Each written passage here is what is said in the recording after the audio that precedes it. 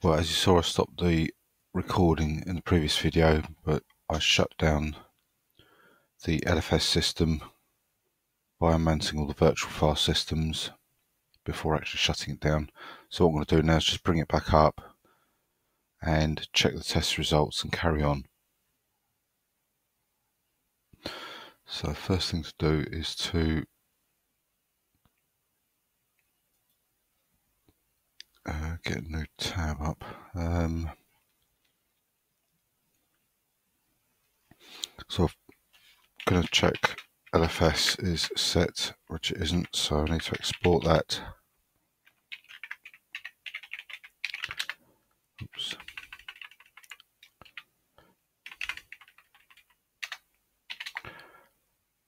Uh, right, okay.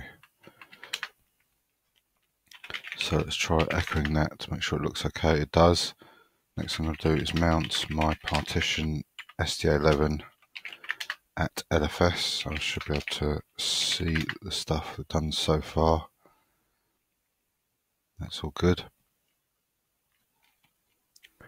So the next two things I need to do to remount the virtual kernel file systems and then re-enter the chroot. So that's just a case of putting that command in to rebind the dev file system and then these four commands to rebind the remaining virtual file systems. And then lastly I can go to the chroot which is the command on that page so all of that in theory it should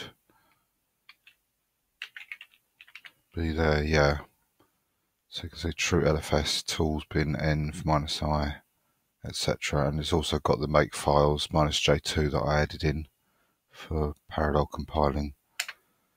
So there I am back in the um, system. So I'll get rid of that. Get back down to the checks.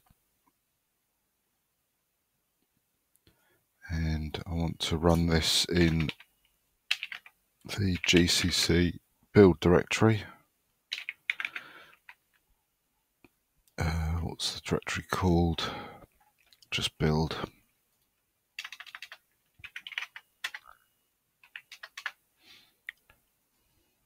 And it says to pipe that through grep minus A7 sum to get just the summary and I'll put it through less as well if we've got less. No, we haven't.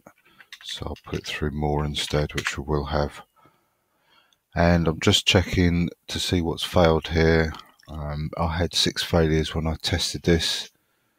So we'll see how that differs. There's nothing wrong with G++ there. GCC is fine. libatomic's fine. So's libgomp. ITM is fine. And then we've got libstandard C++ with six errors. So that looks like the ones that I had. If I remove this summary part, we can actually see what they were. Um, was that it there actually? Yeah. So yeah, this is identical to what I had. Uh, my two failures in the file system iterators and four in the file system operations. So that ties up completely with what I had. So I'm happy that's a consistent failure. Um,